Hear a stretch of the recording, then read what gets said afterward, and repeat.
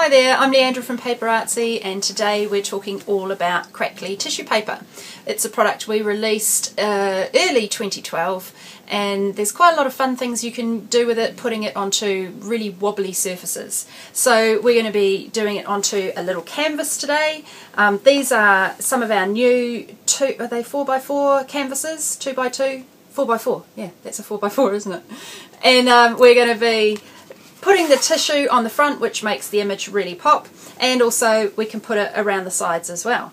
Some of the other things that you can do with the crackly is you can use it on embellishments like these little flower bits and pieces here so you can die cut and use it for flower layers which is quite fun. Um, and here this is along the lines of what I'm planning and doing today as well except this is on a tag. So for this particular one um, the image has been coloured on the crackly and then just stuck straight down onto the tag. So you can see that you don't get any of the background paint coming through. So let's get started. So today to make this project, some of the things that um, we're going to use are a 4x4 canvas. I'm using this little one. We have quite a few different sizes in stock at the moment, 6x6, 8x8, uh, 6x4. So check them out. They're cheap as chips and really nice sizes to work with and they're really well constructed. So that's the cap, the substrate. Um, we're going to use crackly tissue paper. This uh, comes in a pack of 20 sheets, A5, and uh, it's really different tissue paper to what you expect it to be. It's called crackly because the sound it makes is very crackly. It's a bit more robust than you would expect a normal tissue paper to be. Uh, I'll explain more about that later. These are the stamps that I'm using today. It's Lynne Perrella Set 13. I like this one because it fits perfectly on the canvas and there's quite easy areas to colour in with it as well, but I do love her and I love the key and those two little chicky babes face each other so they're going to look really nice on the sides of the canvas. Um, of course you'll need acrylic blocks. Uh, VersaFine ink seems to work better on the um, Crackly than archival. I'm going to demonstrate that to you later. Piece of paper for masking and I quite like to stamp when I'm stamping on tissue onto a piece of kitchen paper so it's handy to have some of that. And of course you'll need some fresco finish acrylic paints. So first thing we're going to do is take our piece of crackly and we're going to use the width of the edge of the canvas as a guide. So we get a size and we're just going to fold that there and then we'll concertina that so that you've got your tissue paper that is all marked up ziggity zaggity like that. Okay so you've I've just started at one end and folded it up and that uh, is ready to stamp so when I'm going to stamp, I find if I put a piece of paper, um, kitchen towel underneath, then it's a little bit easier to um, lean onto it. It's just nice to have a soft area underneath. Uh, we're going to start with these two ladies that kind of face each other because they're going to look really cool on the spine. So I'm using VersaFine. VersaFine is an oil based permanent ink. It's so is archival, but the VersaFine seems to not travel so much. I think it's a slightly thicker formula, and so it seems to stay put when you stamp the image onto the tissue paper. Obviously tissue paper is quite porous and the ink can sink into it and bleed. So if you have the slightly thicker formulation, it seems to just give you a better result. Now I'm actually going to show you the difference between that and archival so you can see it with your own eyes. So we'll just do one more of these in the archival.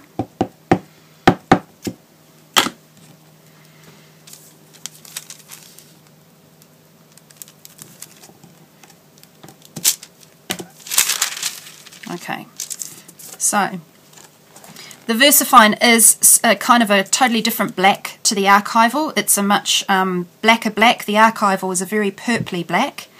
And you can see all the detail is right in the, the roof of the building and everywhere on her nice hat there. In the archival, it all just sort of fills in, um, and so the ink suggests that the ink is still travelling on the tissue paper. You can use a heat gun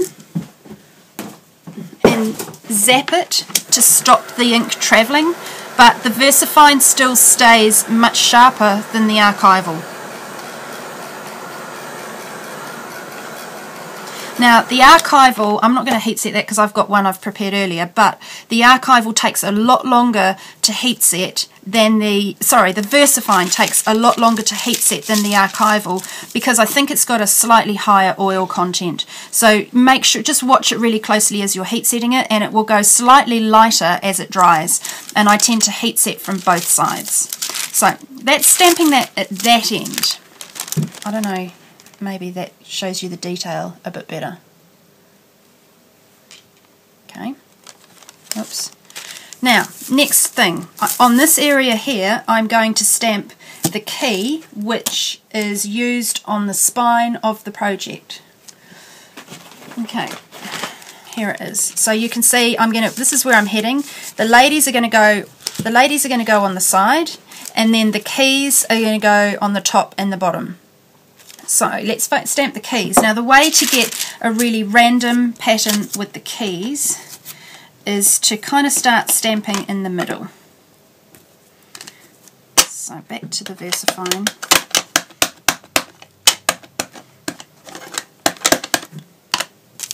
I do use, I don't want to I don't want to mislead you and think that I don't like archival. I like archival. I just don't like it on this crackly tissue paper. So um, where I do use it a lot is on top of the paint. Whenever I stamp an image with fresco finish, I always stamp over the top with archival ink um, because it's very fast drying and it's a, it's a bit faster drying than the VersaFine. So there are, you know, every ink has its, its uh, pluses and minuses. But I think what we've noticed is that for the Lynne Perrella stamps, the VersaFine gives you a really nice, sharp detail because she has such amazingly complicated images going on there. Right, now I'm just using that bit of paper to mask the edges here so that I can put more parts of my keys in there. And you can see what I'm doing. I'm just randomly building up the keys stamped onto this, onto these little bits here. Okay, so you get the idea. Because you don't want to stamp, if I'm stamping there, you don't want the head of the key going over one of those images, then that's why I'm using the paper to mask it off. So you end up with a piece of tissue paper like this. Okay, so it's got all the keys randomly stamped and the two ladies facing each other. Now I've also then taken this and put it back on here and folded it so that I can see uh, the exact length of the sides of that little canvas block there. Right, so we could cut it out just using scissors, but I want to show you how to pluck tissue. You haven't lived until you know how to do this. So everything's heat set beautifully, and I've just got some water and a paintbrush, and all I'm going to do is run it along the lines here, the fold lines. So you do that, and then you can just pluck your tissue, pull it apart. It's just the easiest way. And you get really nice soft edges when you do it that way. Instead of having a, a boring straight cut line, you've got really nice soft edges, and this is the plucking bit. You can just pull right up to that wet line and pull all those little bits off. We're going to go and do that all around all the edges and down all the joins. Okay, so easy. You don't have to be perfect about it because this these images don't have to fit perfectly on the spine, but if you want to use it as a guide there, so you can see how much plucking you're allowed to do. And then you just keep positioning it and obviously you're going to need to wet along that edge there so that you can get a nice soft line and you will end up with this so you'll have all your little pieces nice and random and they're going to fit on the sides there easily. Okay, so that's making the sides and the tops and the bottom. Now for the image on the front, what we're going to do is stamp her right in the middle of the tissue paper and you can see exactly where she fits. See how that's a great fit for this size canvas? And then the same thing we're going to get the water and you just want to run it along the edges there. Around the top. Down the sides there and then you can again just pull it out. How cool is that? So much better than cutting. I used to do this a lot back in the day. I used to work with tissue loads years ago.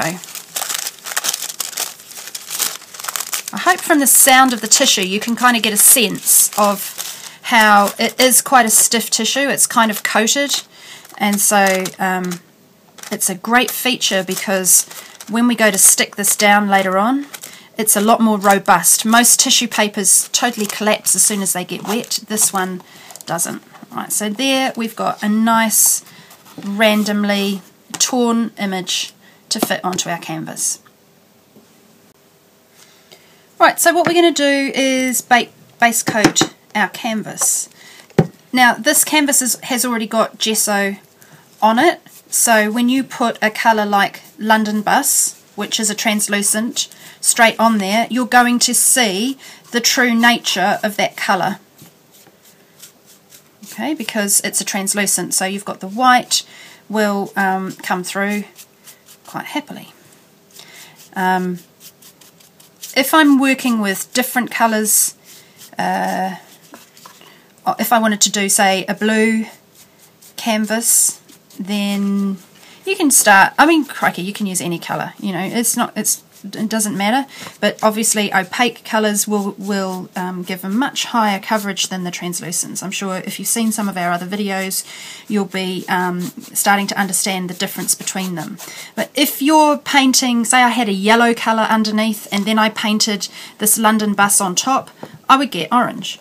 So um, if you want to see London bus in its entirety proper 100% true colour then it needs to have white underneath it.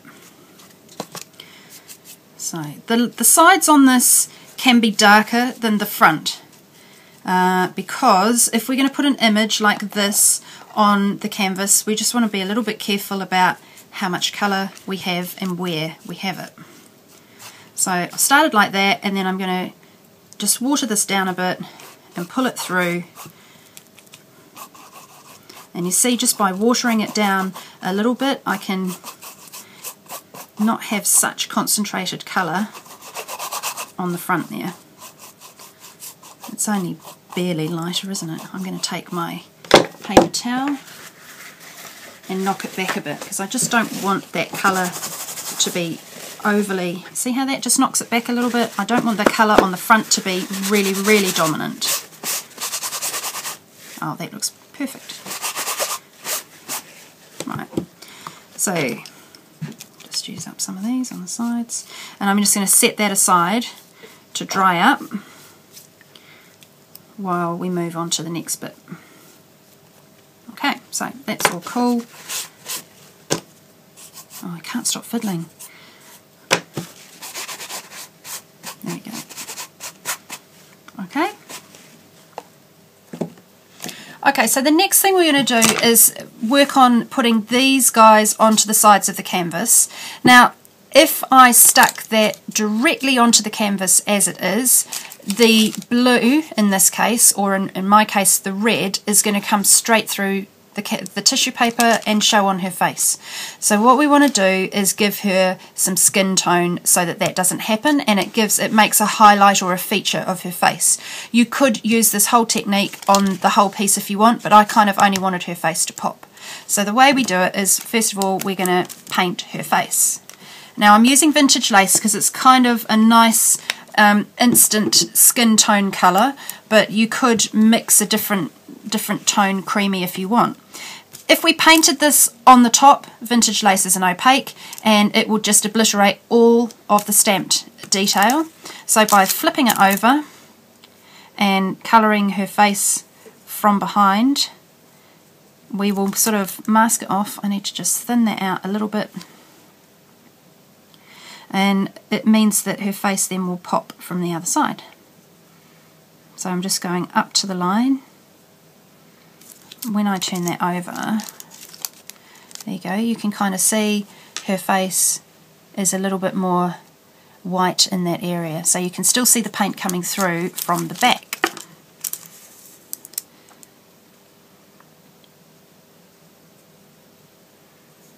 Same on this one.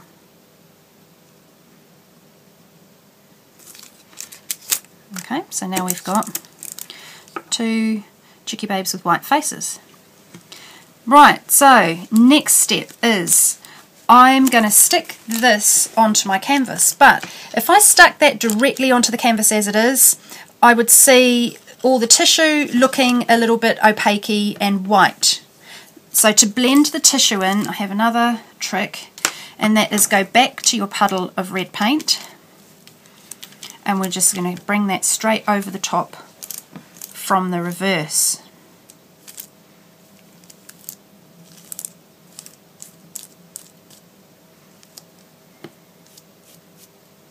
Layer on that one. So this is exactly the same colour as I've got on the canvas, the London bus. Okay, Now, that is all ready to go on canvas. And we're going to use satin glaze as our adhesive to stick those on the side. Now, I'm going to put loads of satin glaze on here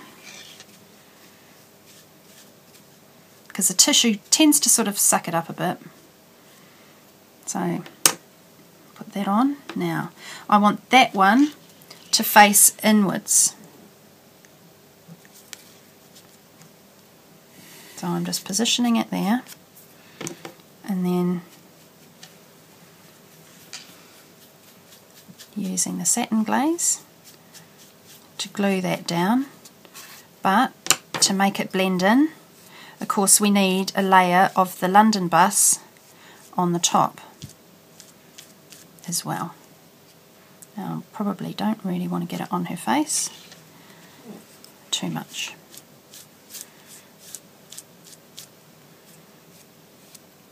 Now, if you've chosen an opaque colour, when you come over the top here, you're going to obliterate your stamped image. So it's quite a good idea if you're doing this technique and coming back to your red bus, your London bus, that you use a translucent in the very first instance so that you're not going to lose the detail of that stamped image. You see how her face really pops out now. Okay, same on the other side. So, oops, I've just got vintage lace everywhere. So, some more glaze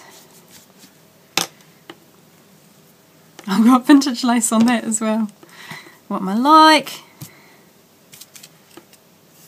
I'm just going to paint that a little bit red first.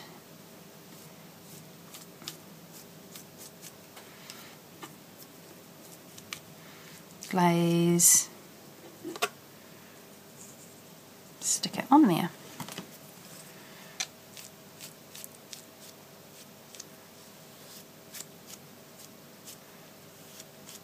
Okay, that's where my little vintage lace corner is going to be. We'll have to deal with that later.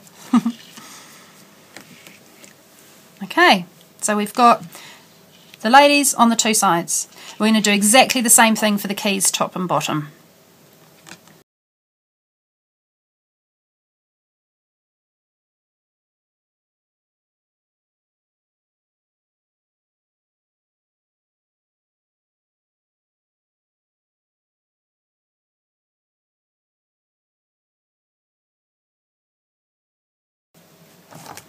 Okay, so you can see on the canvas here that she's got some slightly pink cheeks. So the thing with painting on the back is you've got to paint upside down. So the colours that you want to see the most on the top side, you need to paint first. So if we start with that pinky tone, I've got a little bit of vintage lace in my brush left over from before.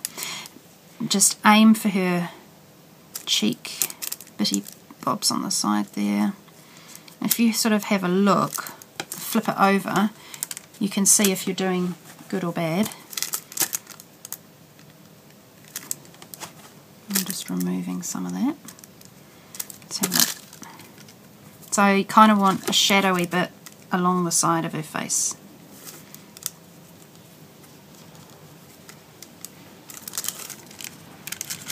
It's a bit lower on that side than the other side, so that means I've got to bring this down here. Okay, so that's the first layer. Then I'm just going to come over the whole thing with the vintage lace.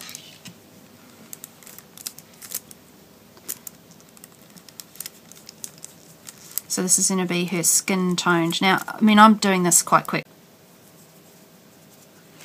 Okay, so when you flip it over, you can see that the face has been um, really highlighted by that colour.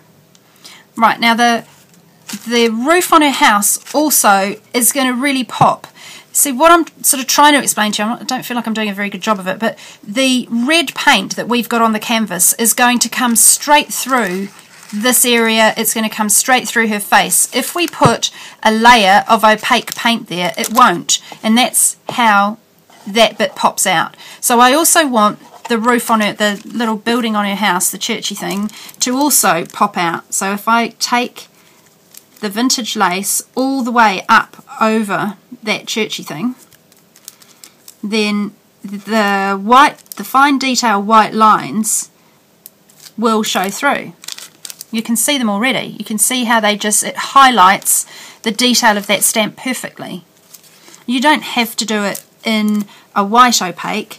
You could do it in like a um, haystack or ice blue, any other colour. But just because I'm for speed, I'm doing it in, in the same colour. But also, obviously, the lighter the colour you go, the um, the more obvious the highlights will be. So Snowflake would be a much brighter highlight than what I'm using here. Miss that little bit at the very top. Okay, now this is also, the little postmark is quite a cool thing to accentuate. So if I make that whitish now, then I could come over the top from the other side with a translucent. And of course the translucents being see-through are not going to detract from this detail of the stamped image. So see, I need to take it right up to the edge. Just when you turn it over, you can see exactly if you've missed a bit. Keep watering your paint down if it, mine's drying out a bit. Just keep it nice and loose. There we go. So what I'm going to plan on do is I will pull a different, I'll put another colour, a wash of colour over the top of that so I could use like bright blue and you'll still see the detail of the stamp but if I put the, the opaque on the top I would, I'd lose all that. So those are the two most important details. Now what I'm going to do is colour some of the other bits and pieces in. So I'm going to colour the whole thing from the back first. So let's go to a blue. And we'll do this collar bit here. Now this is a translucent, so if I put that on top of my red canvas, that looks blue now, but if I put it there on top of a red canvas, it might, with the red coming through, it might look a bit more purple. So you can, you can um, alter that by having a different blue, like a more opaque blue, or what I'm going to do is actually a couple of layers of it. I could mix some snowflake in with it and make it more opaque. But you see what I'm thinking of doing is I'm going to paint it from the front and the back. So if I put a layer of that on the front, it's not going to detract from my stamped image because it's a translucent, but it will accentuate the colour a little bit more so it will look brighter on the front. So the next step is to start thinking about the highlights in the background. So let's start with the brightest colour first, which is Zesty Zing. So I'm just going to put some of this on the area here in the background so that we kind of create, see, can you see on this sample here, you create a sort of a warmth coming through. And again, I'm painting upside down, so if this goes on first, and I'm going to bring in a bit of, um, what's that one, smoked paprika.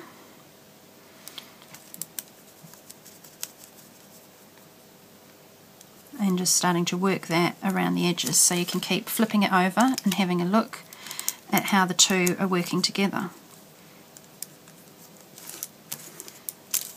So it's kind of a bit better where you, you sort of want it wet and wet if you can. That first bit I put on dried quite quickly. So I'm trying not to have, uh, trying to get my yellow wet at the very edges where it's blending into the oranges. Okay, so it looks really wishy-washy from the front because I'm painting it on the back, but when I put another layer on the front, it will look a lot less wishy-washy, or if we put the satin glaze over the top, it will also look a lot less wishy-washy. But by painting, the whole point of this exercise is by painting from sort of both sides, you create a much better depth of colour than you would if you just painted on the top or if you just painted on the back. and of course we can go right the way over the top of that postmark because it's protected because there's an opaque there.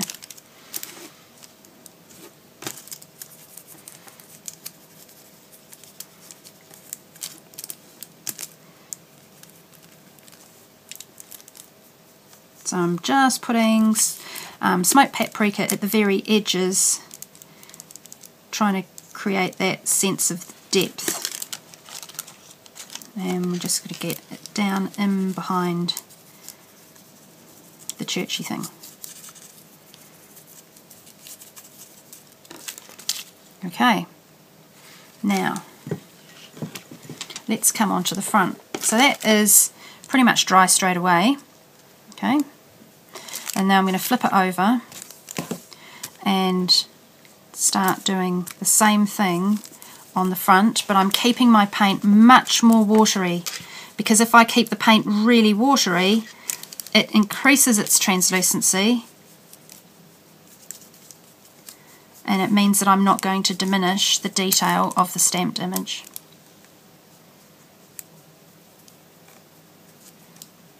I'm starting to build the depth again.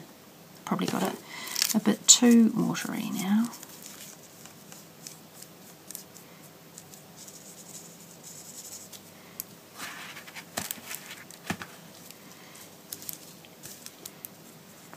Okay, so you just keep adding your colour.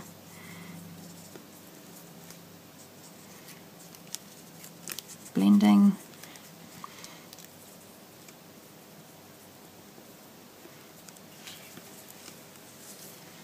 Get the idea?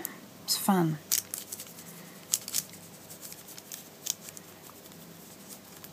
Right. Okay, I'm going to make that blue. So I'm going to go back to the beach hut and I want to water it down. Oh, it's gone green. There's yellow in my brush, isn't there? So it's gone a bit more of that patina green, but that's fine. I'm okay with that.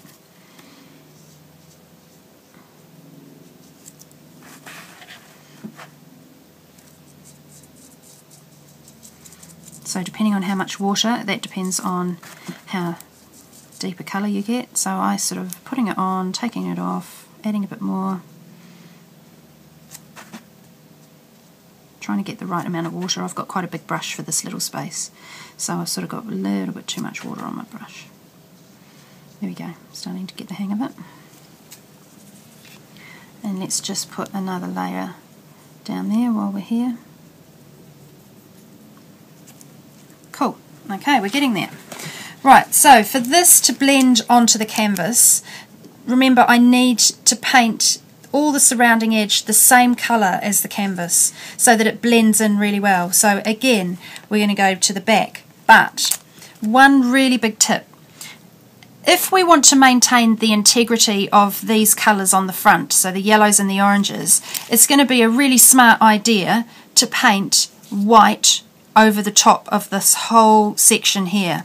You can see that from this side I can actually see the writing of the stamped image. So if that gets stuck onto the canvas, that means that the red paint is still going to come through. I'm still going to be able to see through it because the Zesty Zing and the Smoked Paprika are both translucents. So to make them protected from the canvas colour, we're just going to put a layer of snowflake on the back. You could do this, you could paint your edges first if you want. If you want to paint these edges London bus first you can.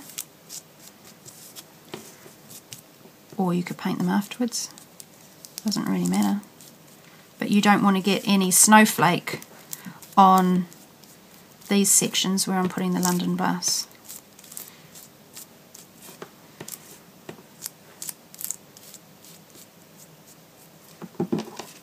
So see that is going to do exactly the same thing as the other sides when we did the tops and the sides. But let me go to the snowflake.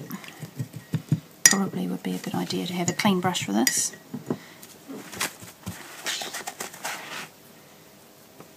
And we're just going to protect all of this section. Layer of snowflake.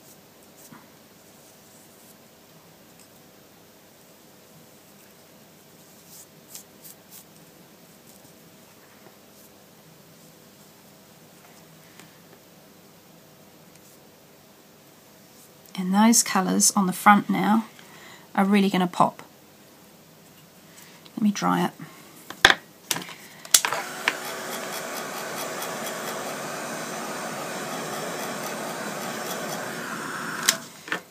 I haven't been overly bothered about drying this as I work because there's not it, the paints do tend to dry so fast on their own anyway so it's not really a biggie plus it's going to get wet again when I stick it onto the canvas so I'm not, I don't really muck about drying it heaps.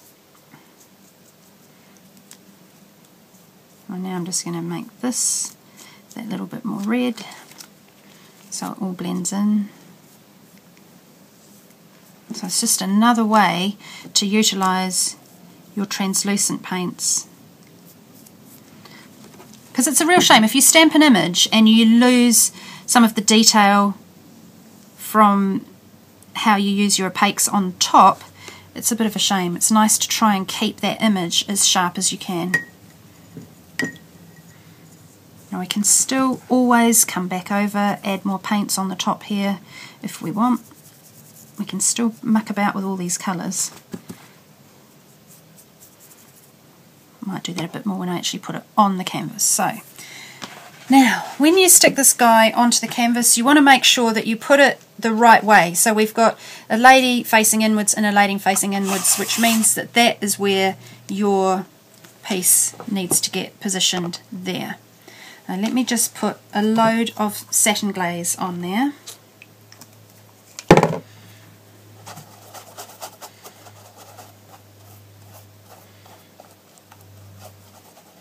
And this process happens a lot easier if your image is quite wet with the glaze and if the canvas is quite wet with the glaze.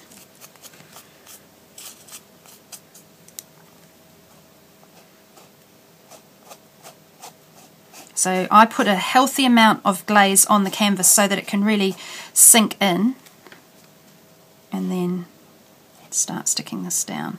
Now this is where our tissue paper comes into its own. It is very robust. It's not a normal tissue paper.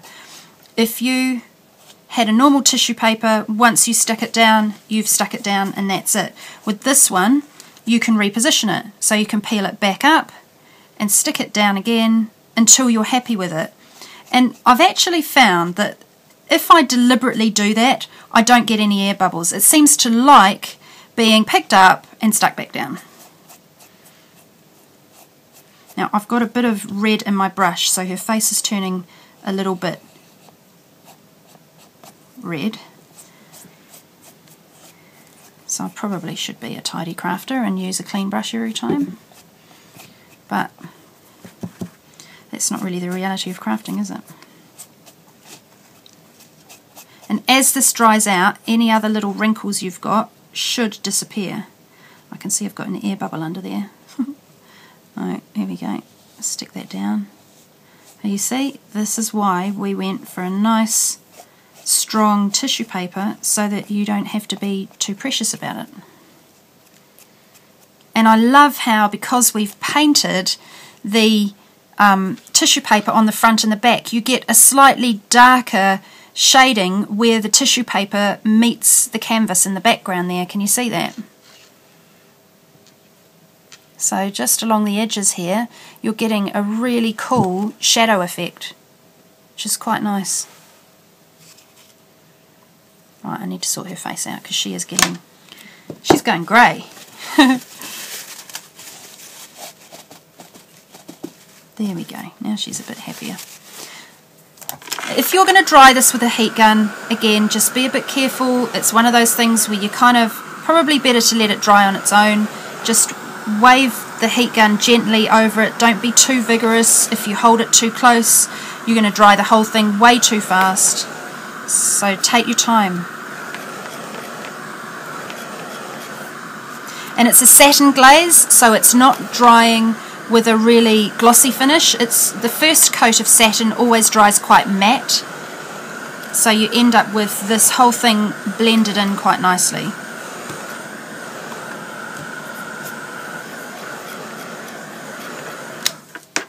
So you see how that it's, not shiny anymore.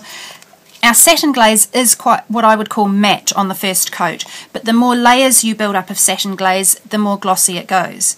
Now one of the things that I like to do with this, and you can probably see the difference here, the colours on this one are much brighter and poppier, and the reason that they are brighter is because I've actually glossed it. So I've put probably three or four coats of gloss glaze over the top of this, this section here. And when you apply a gloss glaze to our chalky paints, um, it, more light reflects back at your eyes, and because more light is reflected back to your eyes, you your eye perceives the colour to be a lot brighter than what it really is. So if you want our matte paints to look brighter, then you need to use a gloss glaze on top. Okay, so there's a finishing off few little bits for finishing this off. I've stamped over the top with a script just to sort of blend things in a little bit. So we've still got to do that. But before I do that, I'm just going to add a little bit more detail um, and a little bit more shadowing with my translucent paints. Right, so I've just got a little puddle of water on the craft sheet here and a few extra, a few colours. This one is South Pacific. So I'm pick, I've got my brush quite wet, picking up a little bit of South Pacific, and I'm going to try and add a little bit more depth in around his neck. So all of this is happening um, just to try and accentuate some of the colours a little bit. Okay, I'll do that on there. South Pacific is quite uh, translucent. I'll do it on there. So I put the colour on and then I get my paintbrush a little bit wetter and soften it out with a wet paintbrush.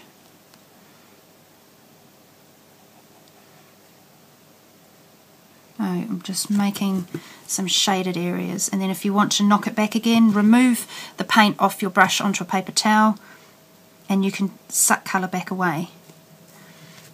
So that's him. Let's do the same with brown shed. So wet brush, pick up the tiniest bit of colour and I just want to try and create a little bit of depth if possible in and around there. So put it on and then with your brush damp soften it out. This is the sort of where you start titivating really. My brush has all gone weirdo. Let's see. There we go.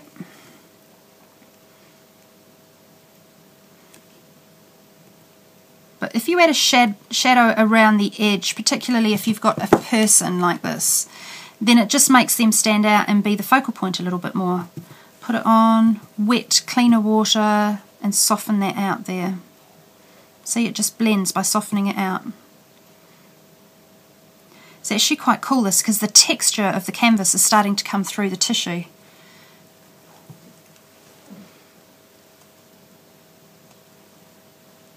It's, as you probably are aware, it's very, very difficult to stamp directly onto a canvas. A little, you know, they tend to just buckle up and underneath you. So if you can do it this way, it looks like you've stamped on the canvas when you actually haven't. More water, soften that.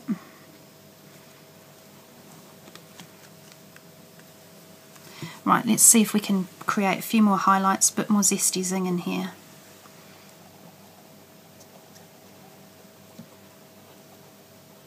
Just lighten that area up a little bit. And where it meets the wet brown shed, it's going to blend into, into each other anyway, the two colours will. And see, just a damp brush, and I'm removing it off, off those words because it will dry matte even though it's a translucent it will still dry quite matte and you could do this whole thing on the face as well. You could build a lot more shadowing on the side of the face if you wish. Uh, something like Irish cream, but you really only want a teeny tiny bit.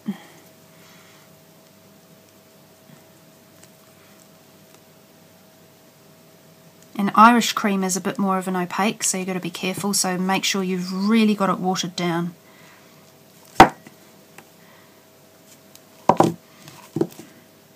So if I kind of go down the side of the face and then wet brush, blend it in again, soften it back, remove quite a bit of it off. I'm so I'm kind of creating a little bit of a shadow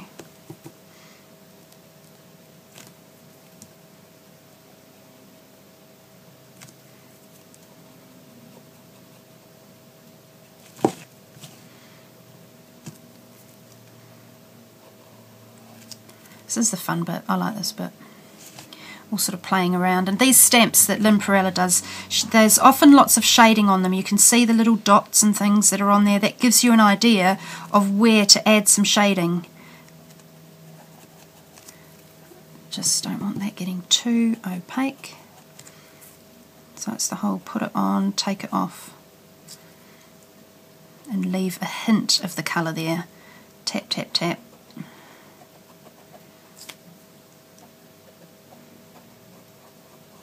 That's better, isn't it?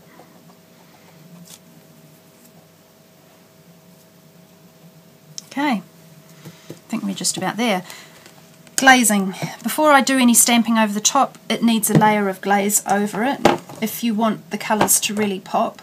So gloss glaze is the way to go. Let me just zap it and make sure that's all a bit dry.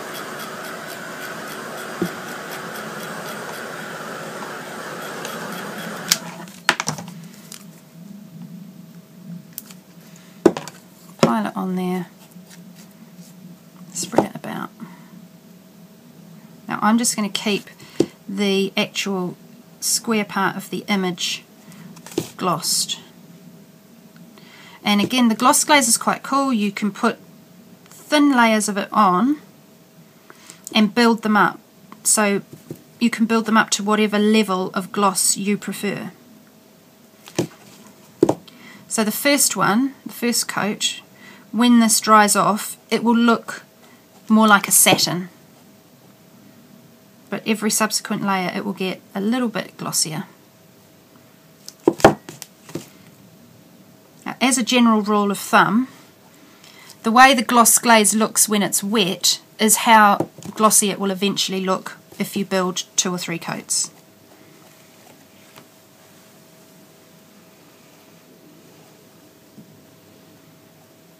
So that's one coat. And again, I prefer to leave this to do to dry naturally. It's not, I'm not a big fan of drying glazes rapidly.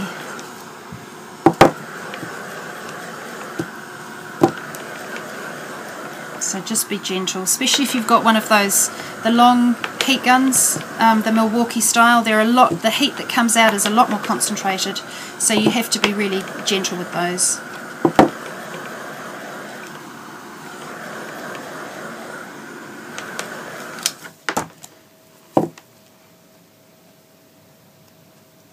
can missed now. The other thing that's interesting about applying gloss glaze is it makes the black stamped um, section really pop as well. So if you can take your glaze right up to the edge of the stamp design, then the black sections will really look a lot better.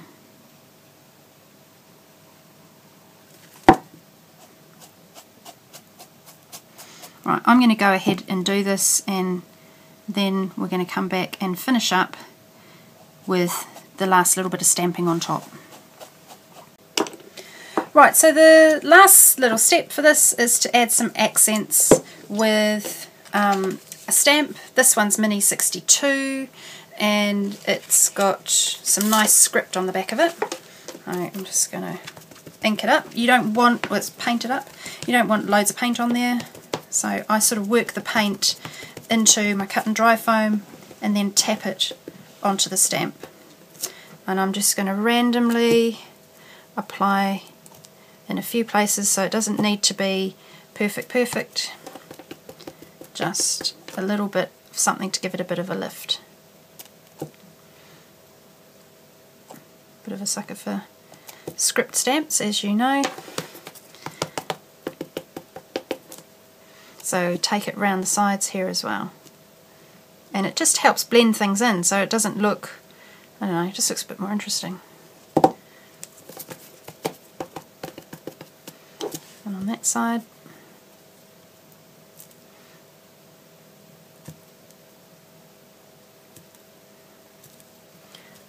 And of course, I mean, when you're doing something like this, you can take your canvas and you can embellish it and do all kinds of other things to it.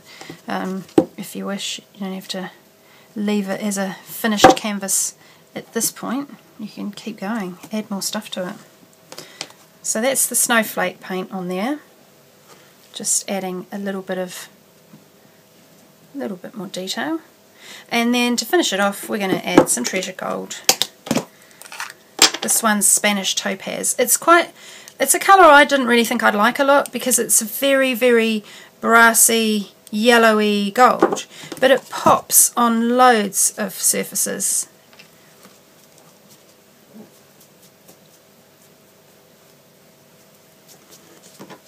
So just want to drag it over there a little bit. I just try to catch the corners. You can use your fingers if you want to apply it as well.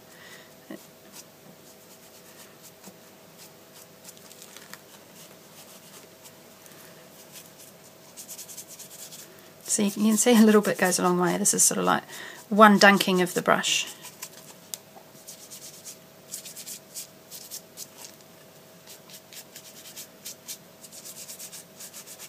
And if you want it a lot more concentrated then just stick your finger in and get a proper edge in a couple of places. And there you have it. So, crackly, you can do that whole technique onto onto um, onto your tags. You can do it onto canvases like this, all kinds of all kinds of areas. But it's a really nice way to build depth from both the front and the back. We'll see you next time on the PaperArtsy channel. Thanks for dropping by.